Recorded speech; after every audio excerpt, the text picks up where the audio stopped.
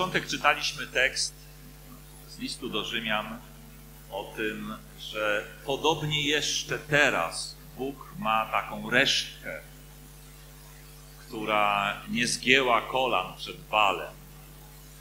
To był w wykonaniu apostoła Pawła cytat z pierwszej księgi królewskiej z 19 rozdziału, 18 wersetu.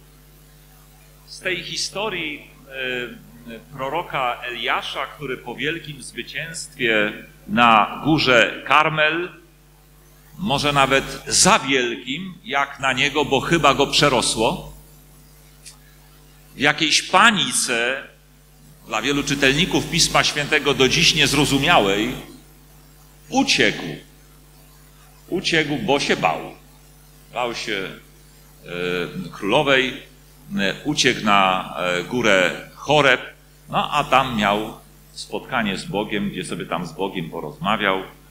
Nie będziemy tej historii czytali, ale ona tam się kończy właśnie czymś takim, kiedy on narzeka względem Boga i, i, i właściwie mówi, że, że tylko ja sam zostałem, że wszyscy już są pobici. E, a Bóg mówi mu, że mam jeszcze, wracaj, wracaj, bo ja mam jeszcze siedem tysięcy takich, których kolana przed balem się nie zgięły i których usta go nie całowały. W mojej Biblii Ostatnio posługuję się Biblią ekumeniczną. Tam jest też takie wyjaśnienie, że e, usta go nie całowały, znaczy, że to były takie, takie wtedy przyjęte formy adoracji e, pogańskich bóstw. Kiedy przeczytałem sobie raz jeszcze niedawno to wyjaśnienie, przypomniało mi się, że te formy adoracji bóstw, które nie są Bogiem, chyba przetrwały do dzisiaj. Widzieliście ludzi całujących różne przedmioty, nadając im boskie e, jakieś znaczenie? Jakby tego nie tłumaczyli? To są to niedozwolone formy adoracji. Ale ja nie o tym. Chcę się skupić na tych siedmiu tysiącach. W czasach Eliasza i tych siedmiu symbolicznie, bo przecież symbolicznie używa tych, tego sformułowania, tego tekstu apostoł Paweł w liście do Rzymian, mówiąc podobnie i teraz, według wyboru łaski jest taka resztka. I kogo ma na myśli?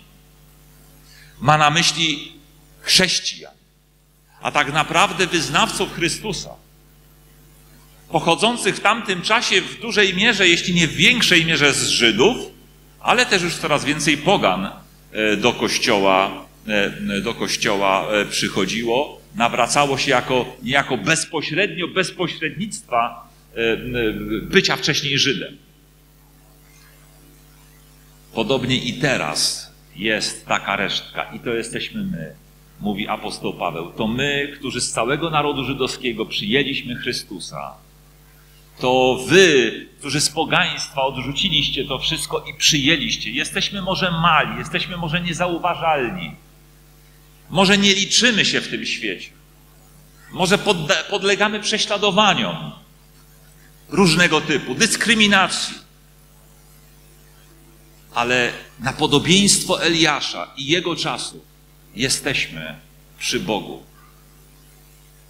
Nie całujemy żadnych bóstw. Nie kłaniamy się żadnym fałszywym Bogom, ale chcemy kroczyć za prawdziwym Bogiem. Ta idea resztki nie zaczęła się wcale od e, Eliasza. Właściwie jak przyjrzycie się Pismu Świętemu, to z tą ideą spotkacie się wielokrotnie w różnych miejscach. Przecież już w czasach Noego, gdy cała ludzkość przedpotopowa odstąpiła od Boga, to Bóg dostrzegł Noego uratował jego i jego rodzinę. Kilka osób. Czy to była resztka? A potem z tej resztki zaczęła się nowa cywilizacja. Ale jak stara, szybko odstąpili od Boga, że Bóg z tej całej cywilizacji, tej całej nowej ludzkości popotopowej znowu musiał powołać resztkę i zaczął od Abrahama i jego rodziny.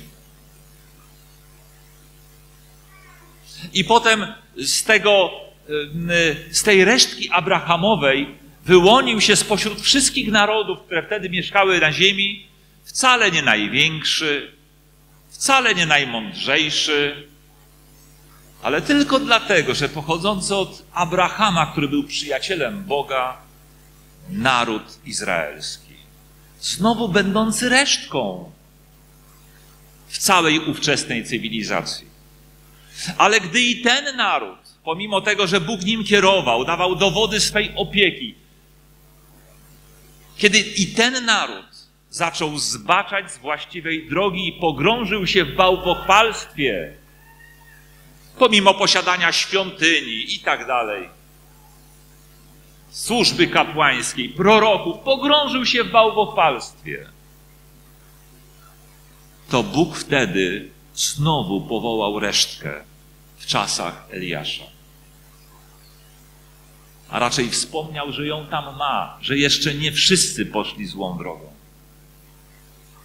I potem w czasach Pana Jezusa i apostolskich tą resztką byli ci, którzy przyjęli Jezusa. I ta resztka zawsze na przestrzeni wieków podlegała jakiejś dyskryminacji, jakiemuś prześladowaniu, bo ta mniejszość większości się nie podobała, bo była stałym oskarżeniem dla nich.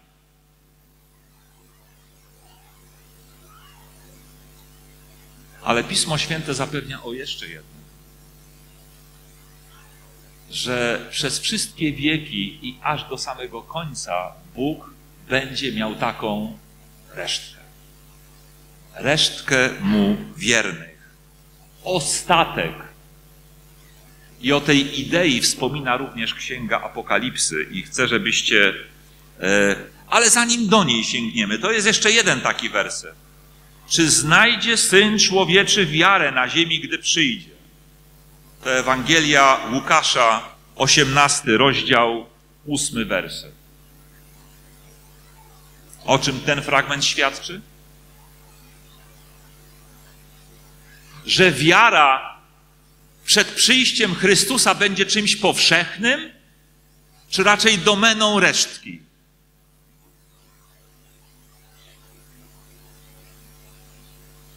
Że znowu będzie resztka. Ta wierząca. Może tu warto o jeszcze jedną dygresję, a mianowicie, gdy dzisiaj się przyglądamy ludzkości, to właściwie więcej jest pośród tej ludzkości ludzi wierzących niż niewierzących. a jednocześnie twierdzimy, że żyjemy u kresu czasu. To jak to się ma do słów, czy znajdzie Bóg wiarę na ziemi, gdy przyjdzie? Bo wiecie, wiara wierze nierówna. W filmach się często słyszy takie fałszywe teksty, tezy typu nieważne w co wierzysz, bylebyś wierzył. Słyszeliście takie? bo jak wierzysz, to jest ci łatwiej. No i są tacy, którzy jedni wierzą w to, drudzy w tamto.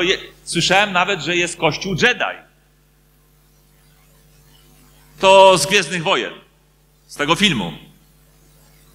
W Czechach nawet chyba. Mają tam kościół Jedi. Tak? No oni chyba są tymi, którzy właśnie nieważne w co wierzą, byle wierzyć będzie łatwiej. Nie wiem. Może coś w tym jest. Ale wiem jedno. Wiara wierze nierówna. I ja nawet nie mówię tu o denominacjach, żeby powiedzieć, że adwentyzm to jest najlepsza wiara na świecie. Bo co z tego, że adwentyzm może się wydawać najlepszą wiarą na świecie, jak wielu adwentystów nie będzie zbawione? Czy ja mówię jakąś herezję teraz?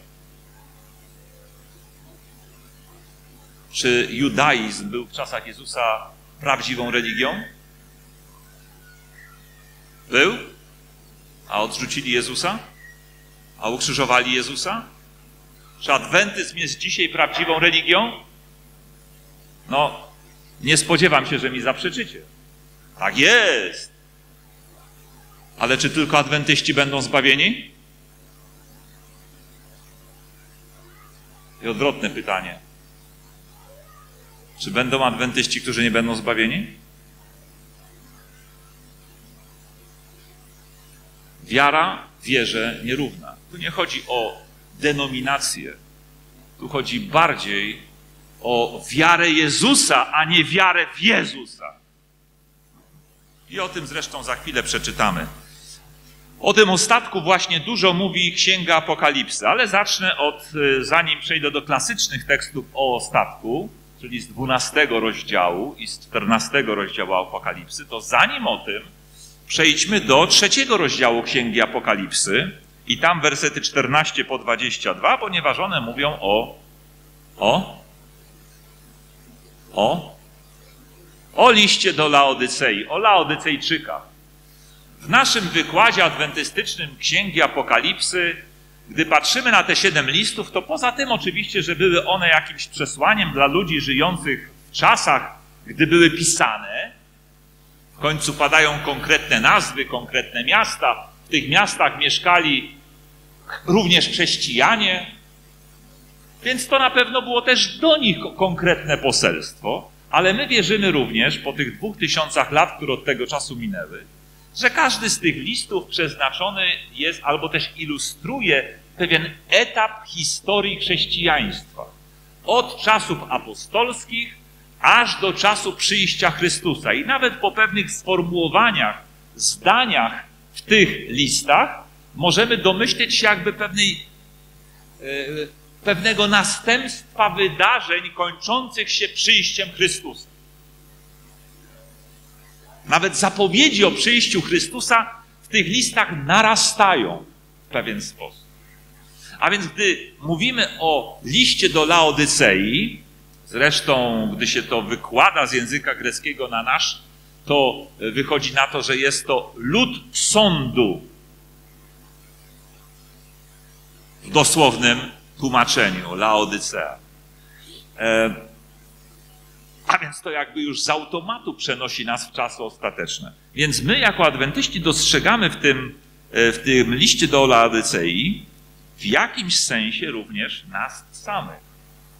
Lud żyjący w czasach sądu, jak wierzymy, w czasach końca. I choć znowu oczywiście każdy z tych listów, i ten do Laodycejczyków też, ma też odniesienie do wszystkich, nawet i nieadwentystów, którzy to czytają, mogą tam coś znaleźć dla siebie, to my znajdujemy w szczególny sposób dla siebie pewne poselstwo. I nie jest to wcale poselstwo pochwały.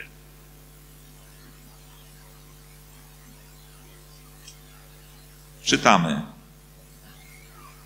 A do kościoła w Laodycei napisz. To mówi Amen, świadek wierny, prawdziwy początek stworzenia Bożego. Znam Twoje czyny nie jesteś ani zimny, ani gorący. Obyś był zimny lub gorący, ale skoro nie jesteś, ale skoro jesteś letni, ani gorący, ani zimny, zamierzam cię wypluć z ust moich. Ilekroć chcemy się widzieć w tym liście, jako szczególna społeczność, ostatka, to w tym momencie powinno zadrżeć nam serce. Chociaż mówisz, jestem bogaty, wzbogaciłem się, niczego nie potrzebuję, a jednak nie wiesz, żeś nędzny, pożałowania godny, biedny, ślepy i nagi. Radzę ci kupić u mnie złoto w ogniu oczyszczone, abyś się wzbogacił, białe szaty, abyś się ubrał i by nie ujawniła się hańba Twej nagości oraz maść do namaszczenia swoich oczu, byś widział.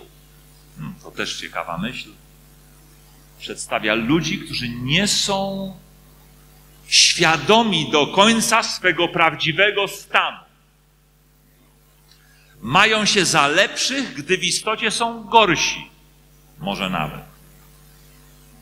A przynajmniej nie tacy dobrzy, jak myślą, że są. I często nie są świadomi swego prawdziwego stanu, stąd to wezwanie, stąd to pewne zaślepienie, w którym tkwią, stąd ten apel, by nabyli maści, żeby dostrzegli swój prawdziwy stan. Ja tych wszystkich, których miłuję, napominam i karcę. Bądź gorliwy i nawróć się. Oto stoję u drzwi i pukam. Jeśli kto usłyszy mój głos i otworzy, wejdę do niego, będę z nim wieczerzał, a on ze mną. Zwycięzcy pozwolę usiąść ze mną na moim tronie, podobnie jak ja zwyciężyłem i usiadłem z moim Ojcem na jego tronie. Kto ma uszy, niech słucha, co Duch mówi do zboru. Tu może pierwsze wyjaśnienie tytułu kazania. Ostatni zwycięzcy.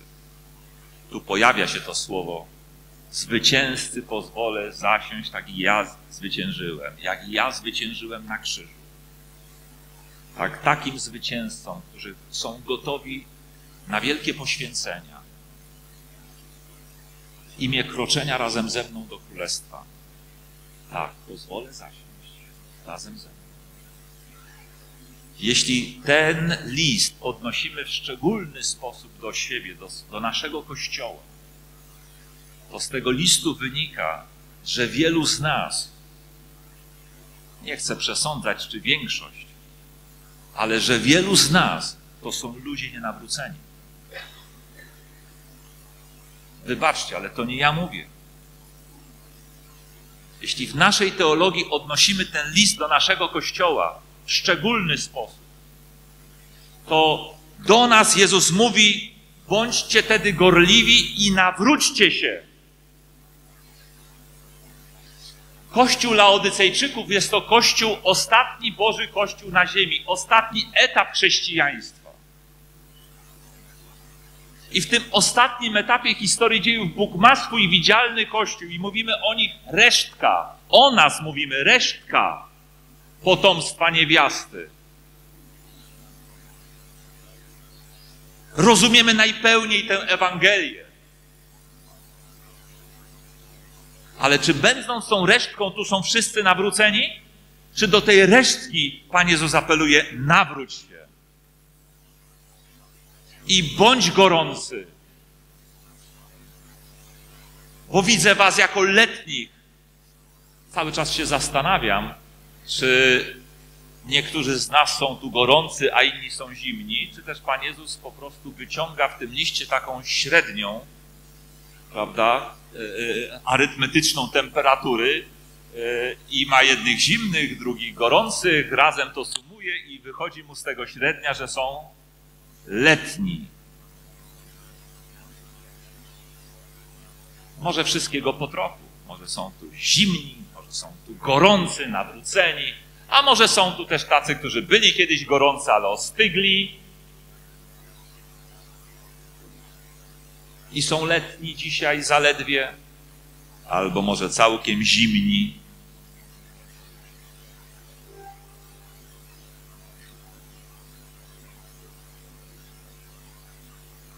I właśnie ten ostatek, ta resztka z czasów Laodycei ma głosić poselstwo, które nazywane jest w Piśmie Świętym poselstwem trójanielskim. I ten ostatek został też opisany w rozdziale 12, wersecie 17, gdzie rozgniewał się smok na niewiastę i odszedł, by podjąć walkę z pozostałymi z jej potomstwa, którzy przestrzegają przykazań Bożych i mają świadectwo Jezusa. Tutaj czytam, z pozostałymi z jej potomstwa. Inne przekłady mówią, że to jest ta resztka potomstwa niewiasty. Stąd nasza nauka o resztce, o ostatku, w czasach ostatecznych. I tu jest jej pewna charakterystyka. Strzegą przykazań Bożych, trwają przy świadectwie Jezusa. I w podobnym kierunku e, charakterystyka idzie w czternastym rozdziale, werset dwunasty. Końcowe wersety trójanielskiego poselstwa. Tu się okaże wytrwałość świętych, którzy przestrzegają przykazań Boga i wiary Jezusa. To stąd zaczerpnąłem myśl, że wiara wierze nierówna i że nie chodzi o wierzenie w Jezusa, ale wierzenie tak, jak Jezus wierzył. A ta wiara Jezusowa zakłada również gotowość na poświęcenie, kiedy trzeba. Ta wiara Jezusowa zakłada miłość do Boga i do zwykłego człowieka. Ta wiara Jezusowa zakłada, mówię o całym charakterze Jezusa, zakłada również w imię wyższych celów umiejętność, chęć, wolę uniżenia się. Bądźcie takiego względem siebie usposobienia, jakie było w Jezusie Chrystusie, który chociaż był w postaci Bożej, nie upierał się zachłannie przy tym, by być równym Bogu, ale uniżył samego siebie i przyjął postać sługi. I przypomnę, ten tekst się zaczyna od słów. Bądźmy takiego samego usposobienia. Wiara Jezusowa dzisiaj to nie tylko zestaw jakichś wierzeń, które jak mam, to należy do resztki. Ja je sobie mogę mieć, ale jeżeli nie będzie we mnie tej pokory Jezusowej, tej miłości do Boga i człowieka, nawet z gotowością poświęcania. Na dziś nikt nie wymaga od nas poświęcania życia, ale może czasem wygody. Jeśli nawet tego nie jesteśmy w stanie poświęcić, czasu dla jakiejś wygody własnej, żeby okazać miłość Bogu i ludziom, to jaka z nas resztka? To potrzebujemy nadal maści na oczy, żeby przejrzeć. Bo być może pozostajemy w fałszywym przekonaniu, że jesteśmy kimś tam, kim wcale nie jesteśmy.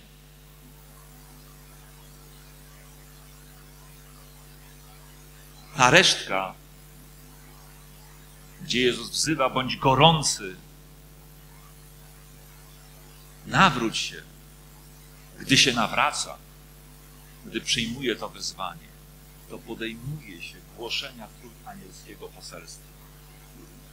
I to poselstwo będzie głoszone całemu światu i zaowocuje ostatecznie tym, że zarówno z tej resztki instytucjonalnej, jaką jest nasz Kościół, jak chcemy się widzieć w poselstwie do Laodycei, bo głosimy przykazania Boże, wiarę Jezusa, yy, świadectwo Jezusa, którym jest duch proroctwa. To z tej resztki, w której nadal są zimni i gorący i letni, wyłoni się na koniec, na sam koniec, kolejna resztka. Jakby ostatek z ostatka. Księdza Apokalipsy i nie tylko z samego Kościoła, ale jeszcze i z całego tego świata, do którego przecież jesteśmy wezwani, by głosić. Wyjdź z Babilonu, ludu mój. To jest zarówno w czternastym rozdziale, jak i w osiemnastym rozdziale Apokalipsy. Następnie zobaczyłem pierwszy werset innego anioła, jak wstępował z nieba, który miał wielką władzę a ziemia została oświetlona Jego chwałą i krzyknął donośnym głosem, upadł, upadł Babilon, wielka stolica i stała się mieszkaniem demonów i, miejscem schronienia wszelkiego ducha nieczystego, miejscem schronienia wszelkiego ptactwa nieczystego. Już odpuśćmy sobie te nieczystości. I wszystkie narody piły, piły wino rozpusty, nierządu. I czwarty werset. I usłyszałem inny głos nieba, który mówił, wyjdź z niej tej stolicy Babilon, ludu mój, byś nie miał udziału w jej grzechach. Aby nie dotknęły cię plagi, jej plagi. Znowu taka refleksja, mała dygresja. Nie wystarczy wyjść z Babilonu.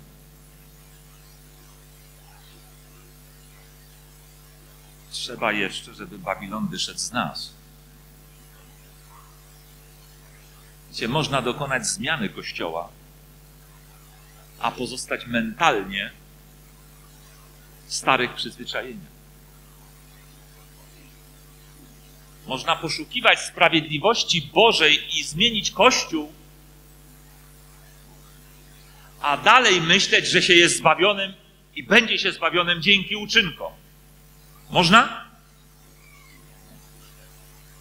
Znaczy ja nie mówię, że raczej inaczej. Nie można. To nie jest dobra wiara.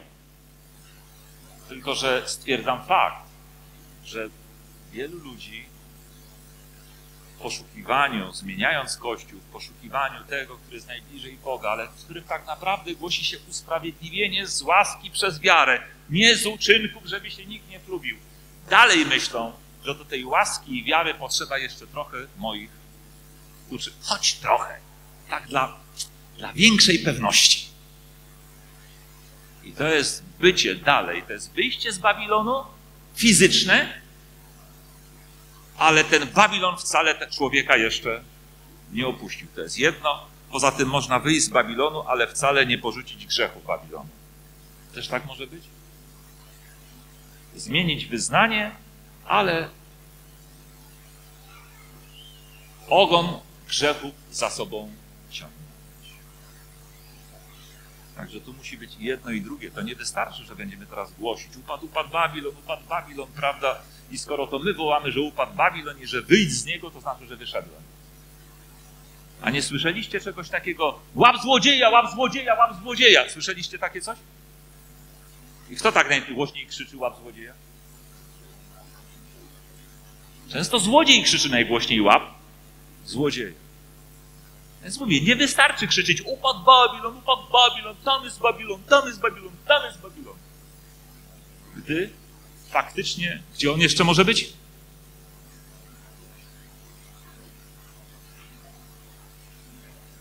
Tam ukryty. Czy siak, chciałem Wam nakreślić, że idea ostatka jest taką ideą ciągnącą się przez całą historię zbawienia. Od czasów Noego aż do czasów przyjścia Chrystusa. I list do Laodycejczyków pokazuje taki kościół ostatków. Ostatni kościół, po którym już się.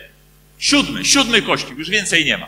Prawda? Siódmy etap dziejów chrześcijaństwa. I pokazałem, że to są ci, którzy przestrzegają przykazań Bożych, wiary Jezusa, mają świadectwo Jezusa.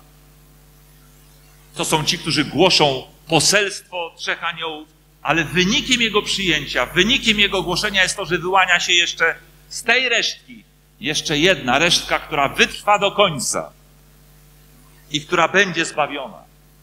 Bo zobaczcie, siódmy rozdział Apokalipsy mówi,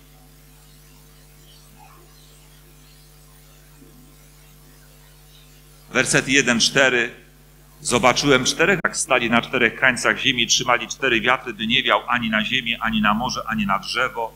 Zobaczyłem innego anioła stępującego od wschodu słońca, który miał pieczęć Boga żywego i wołał donośnym głosem do tych aniołów czterech.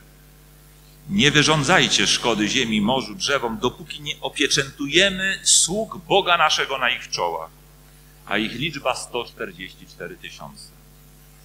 Nie będę się wdawał tutaj w dywagacje, czy to symboliczne, czy rzeczywiste. Ale potem werset czternasty mówi: Odpowiedziałem mu, Panie, Ty wiesz, to są ci, którzy przychodzą z wielkiego ucisku, opłukali swoje szaty, wybielili je we krwi baranka. To są ci, którzy, inaczej mówiąc, na sam koniec dotrwają do końca sprawiedliwości Jezusa Chrystusa, bo to ona się kryje za pojęciem, że wybielili swoje szaty we krwi baranka. Nic nie próbowali dodawać od siebie. Jeśli przestrzegali przykazań Bożych, to nie dlatego, że chcieli być zbawieni, tylko dlatego, że zostali zbawieni z wdzięczności.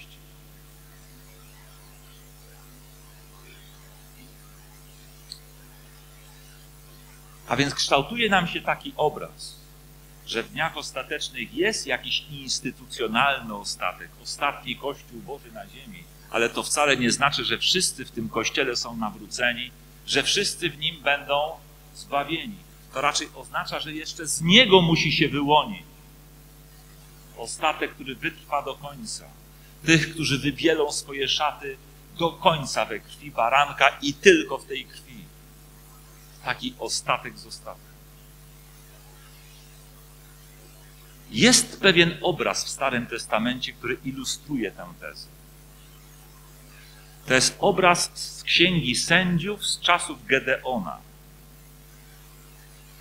Kiedy Izraelici ruszyli do walki bodaj z Midianczykami i tam doszło do pewnej selekcji z 32 tysięcy na 10 tysięcy żołnierzy i z 10 tysięcy na 300. Pamiętacie? Sięgnijmy do siódmego rozdziału Księgi Sędziów.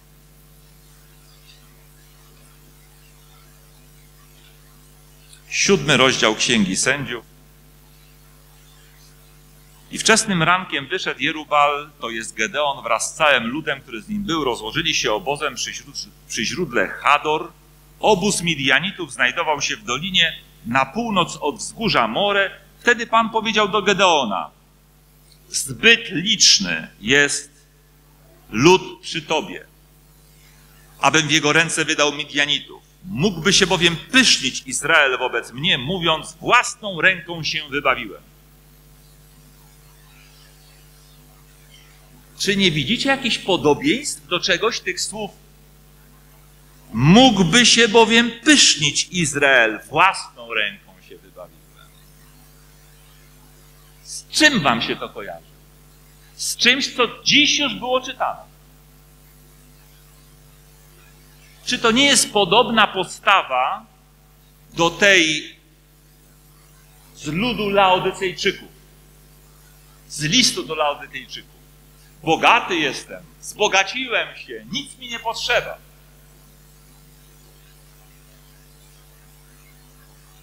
To jest taka wiara, moc samousprawiedliwienia.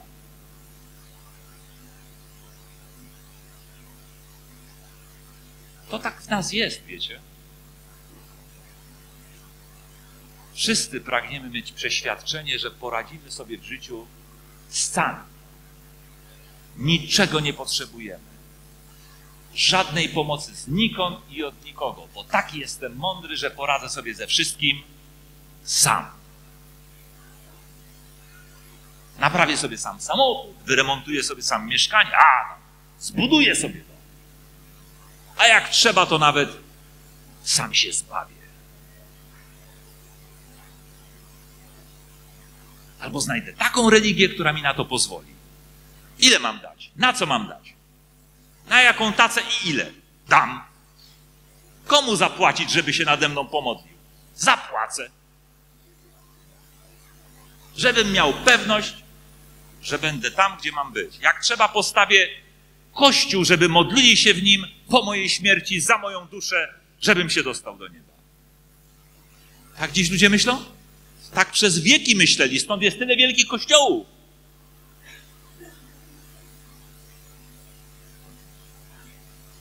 Dla upewnienia się, że mogą to sami załatwić. Taka niestety jest nasza ludzka natura. Bóg wyciąga do nas rękę, chce nas ratować z tej topieli, a my ją odtrącamy i mówimy, ten brzeg jest niedaleko, dopłynę.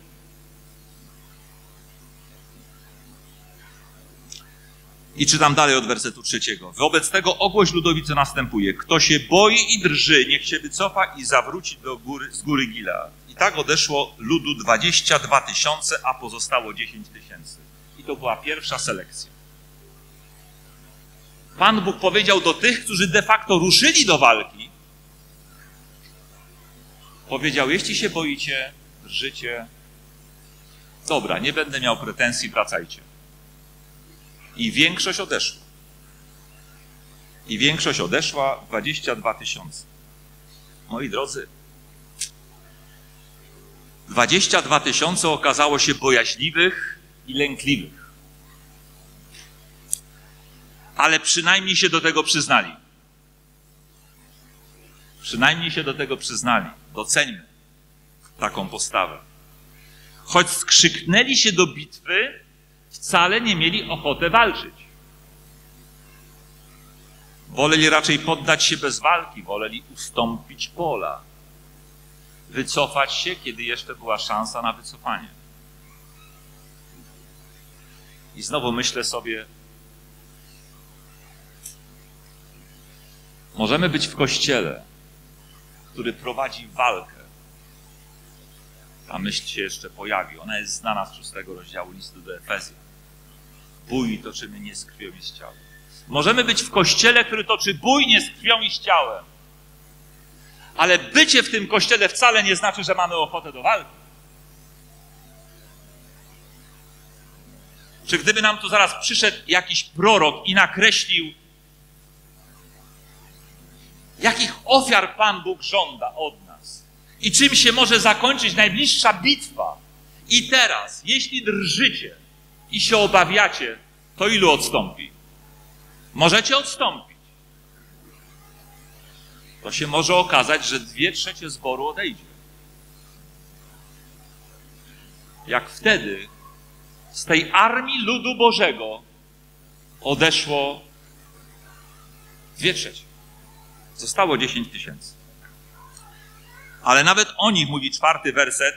Pan powiedział do Gedeona: Lud nadal jest zbyt liczny. W tych słowach nadal jest zbyt liczny kryje się ta sama myśl, co wcześniej. Nadal, nawet jak dziesięć tysięcy wygra, to co powiedzą? Sami się wybawiliśmy.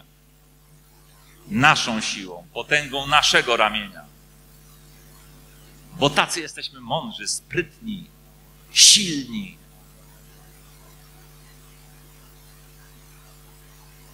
Sprowadź więc ich nad wodę, a tam wypróbuję ich dla ciebie. Będzie tak. O kim ci powiem, ten pójdzie z tobą, to ten pójdzie z tobą. Każdy zaś, o którym ci powiem, ten nie pójdzie z tobą, to ten nie pójdzie z tobą. I sprowadził lud nad wodę, wtedy Pan powiedział do niego, każdego, kto będzie chłeptał wodę językiem jak pies, postawisz osobno, podobnie każdego, kto uklęknie, aby się napić.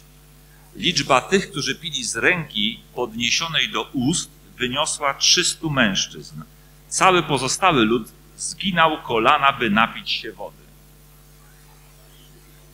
Wtedy Pan powiedział, za sprawą tych 300 pijących mężczyzn wybawię was i wydam Midianitów w twoje ręce.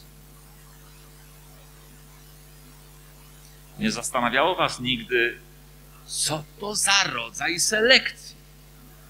No bo ja rozumiem, kto się boi, niech wraca. Jak się boi, to się pewnie na żołnierza nie nadaje. Ale co to za rodzaj selekcji do walki? Picie z ręki, czy picie bezpośrednio ustami z przyklęku ze strumyka?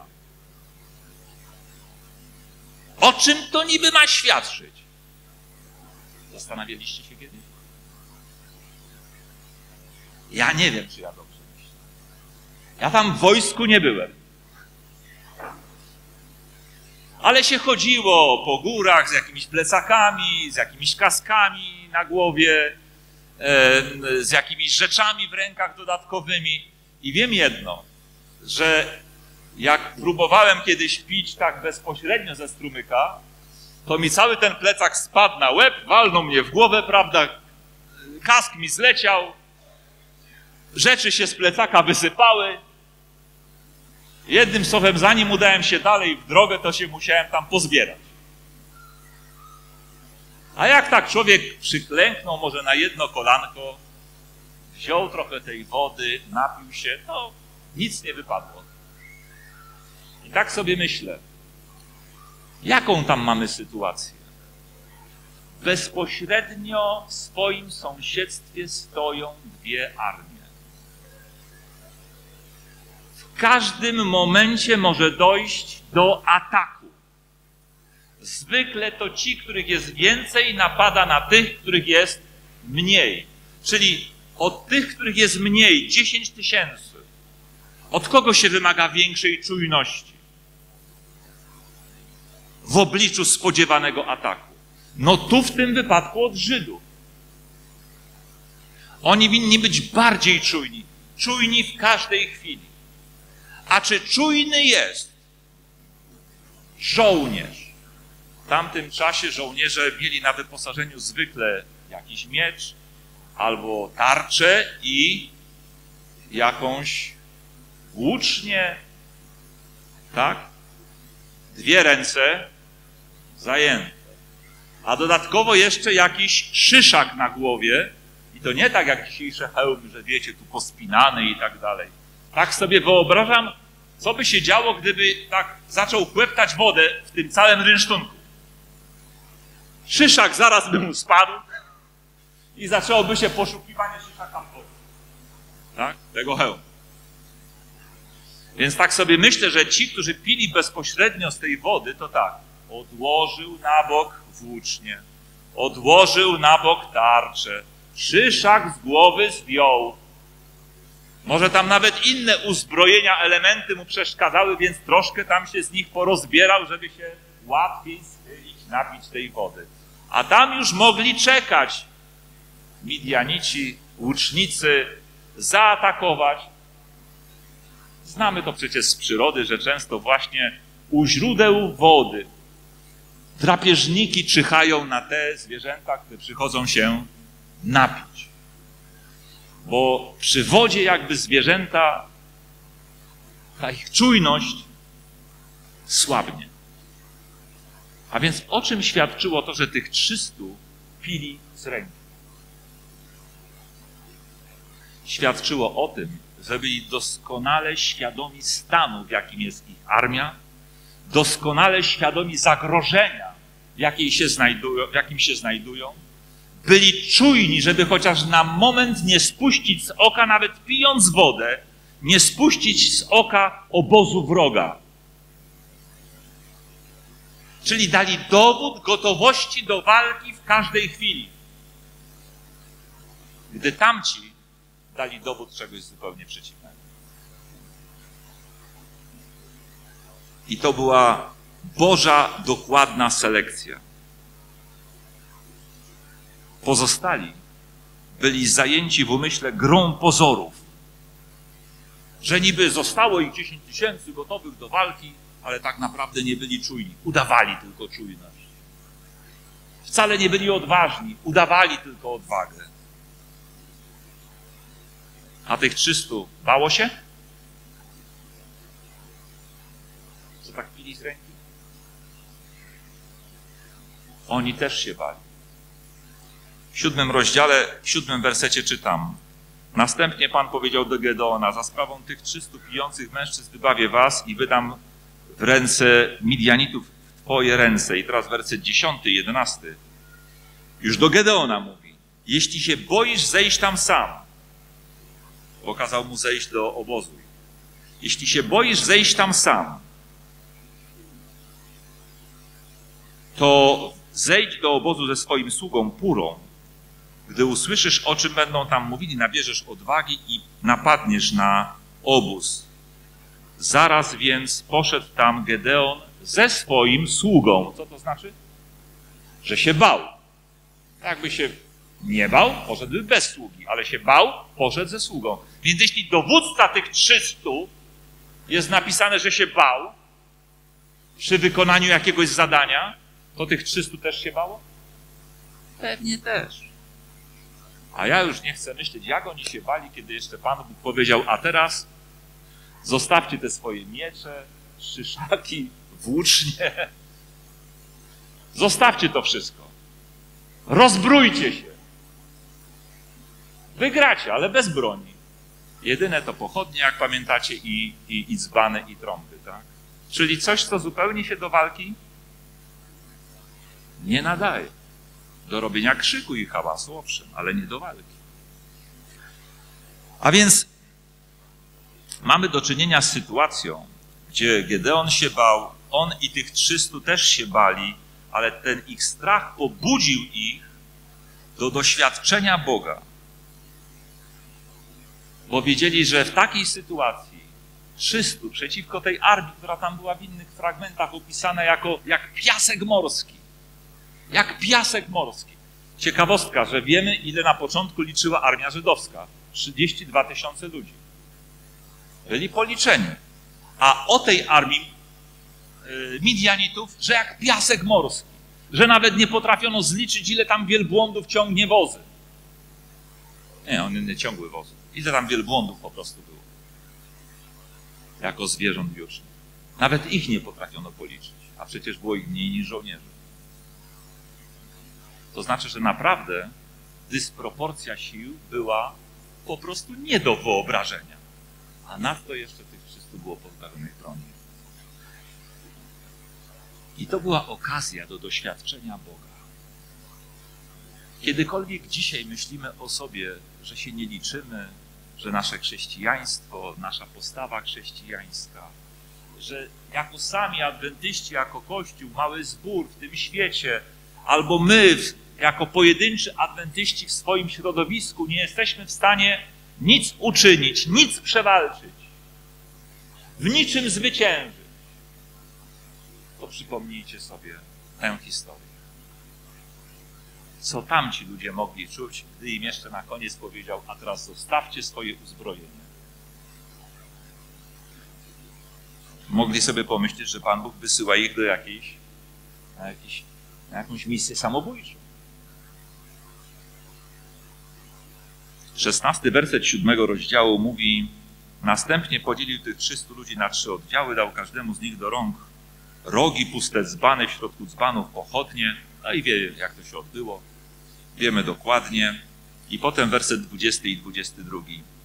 Wtedy też trzy oddziały zadęły wrogi, potłukły dzbany, lewą rękę wzięli pochodnie i w prawą rogi i zawołali miecz za Pana i miecz za Gedeona. I 22 werset. Wtedy 300 wojowników zadęło wrogi, a Pan sprawił, że w całym obozie jeden kierował miecz przeciwko drugiemu i tak dalej. Nie musieli nawet walczyć. Musieli tylko zrobić to, co wydawało się absolutnie nielogiczne. Dąć wrogi, robić hałas. No ktoś powie, no ja rozumiem nawet, że Pan Bóg, no tak, że mamy ich zaskoczyć. Ale czy ilu z nich mogło wierzyć, że to zaskoczenie wystarczy na to, żeby tamci wpadli w taką panikę, że zaczęli się sami zabijać? No to było dla normalnego ludzkiego umysłu to jest tam nie ma krzty w tym logiki, rozsądku, niczego. A jednak uwierzyli i zrobili to, czego Pan Bóg od nich chciał. Pan Bóg postawił ich w sytuacji takiej bezsilności, żeby już nikt nie mógł z nich powiedzieć: Zrobiłem to sam swoją mądrością. Bo żaden mądry by czegoś takiego nie wymyślił. Najmądrzejsi z nich, gdy im jeszcze powiedział 300, ale teraz zostaw broń, pewnie by uciekli. No, no, no ja się na wszystko jestem gotów, no ale na takiego samobuja to nie jestem gotów.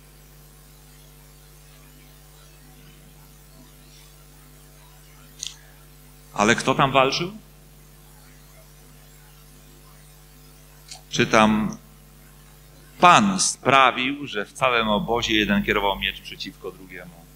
Innymi słowy, to Bóg zwyciężył nad wrogiem Izraelitów, ale ostatek Izraela zwyciężył nad sobą. Rozumiecie? Nad sobą. Że pomimo takiej sytuacji zostali z Bogiem do końca, gdy się wydawało, że są skazani na pożarcie. Nie uciekli zostali z nim do końca. Mimo nawet zaleceń, poleceń, które wydawały się absolutnie nielogiczne, zostali z nim w swej wierze i bezgranicznym zaufaniu do końca. Bóg zwyciężył nad wrogiem, ale oni zwyciężyli nad swoim własnym strachem, nad sobą.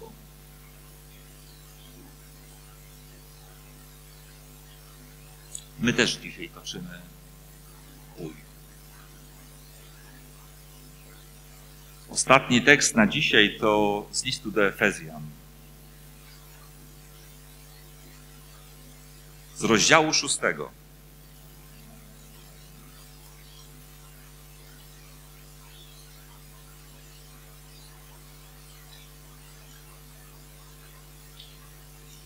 I tam wersety dziesięć po 18. Ponadto umacniajcie się w Panu i w sile Jego potęgi. Przywdziejcie pełną zbroję Bożą, byście mogli stawić czoła zasadzkom diabła.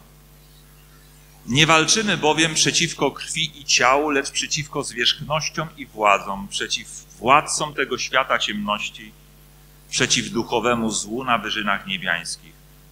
Dlatego weźcie pełną zbroję Bożą, byście się w zły dzień mogli ostać, stawić czoła we wszystkim wytrwać. Stańcie więc z prawdą jako pasem wokół waszych bioder, sprawiedliwością jako pancerzem i z nogami obutymi w gotowość niesienia Ewangelii pokoju. W każdej sytuacji weźcie tarczę wiary, którą moglibyście gasić ogniste pociski złego. I przyjmijcie przyłbicę zbawienia i miecz ducha, którym jest Słowo Boga. Wszelką modlitwą i błaganiem módlcie się w każdym czasie w duchu i w nim czuwajcie wytrwale, błagając za wszystkich świętych.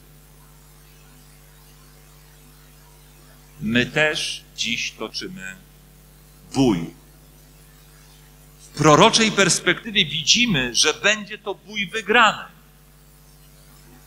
Przecież gdzie indziej czytamy, diabeł, który ich zwodził, został wrzucony do jeziora ognia i siarki. To będzie ostatecznie bój wygrany. Kto w nim zwycięży? Jezus Chrystus. Ale razem z nim na tronie zasiądą inni zwycięzcy. Możecie o tym czytać w Księdze Apokalipsy w 20 rozdziale, 4 wersecie. Tam jest powiedziane, kto z nim będzie siedział na tym. Inni zwycięzcy, ostatni zwycięzcy. Ci, którzy wytrwają z nim do samego końca. Chociaż wydaje się, że mogą być nawet skazani na pożarcie przez zło. Ale to będą zwycięzcy nad sobą. Nasz bój to bój nie z wrogiem. Z nim poradzi sobie Jezus Chrystus. Nasz bój to jest bój o codzienny kontakt ze Słowem Bożym. To jest bój o codzienną modlitwę. Prawda, że musimy się czasem zmuszać?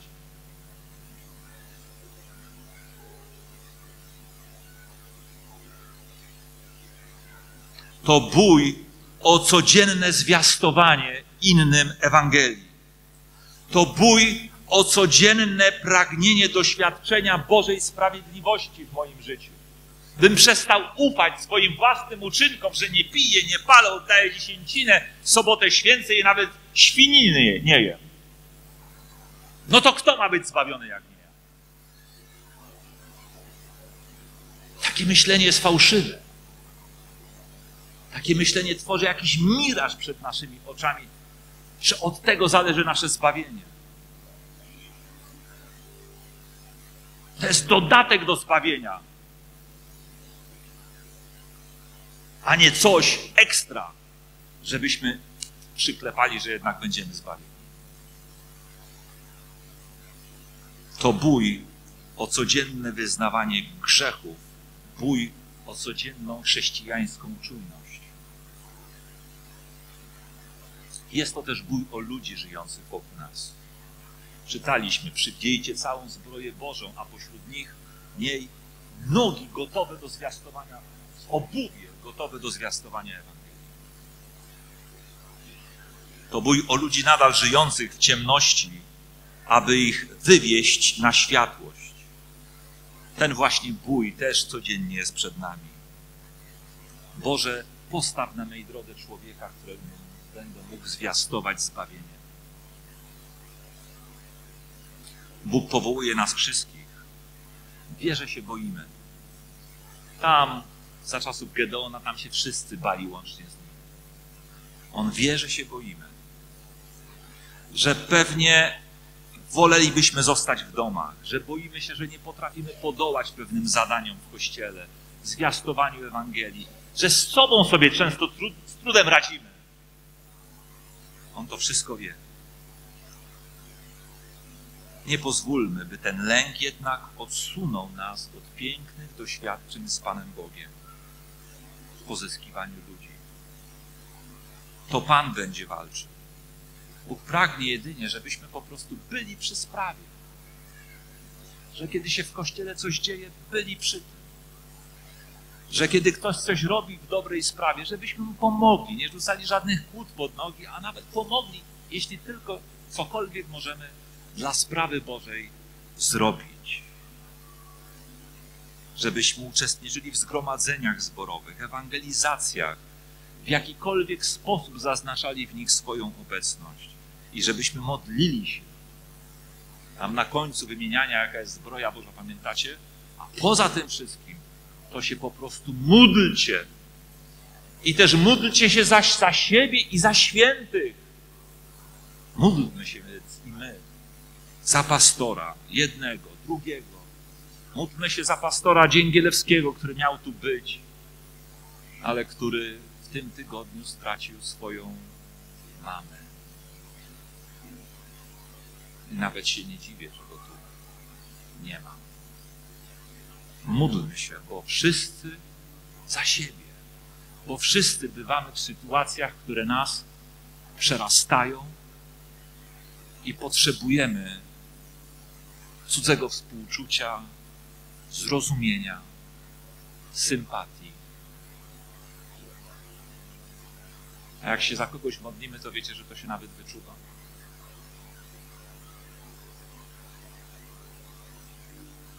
I bądźmy jednej myśli, bo to dzięki temu właśnie i nawet wierze w niemożliwe lud w czasach Gedeona zwyciężył. Niech nam Bóg błogosławi.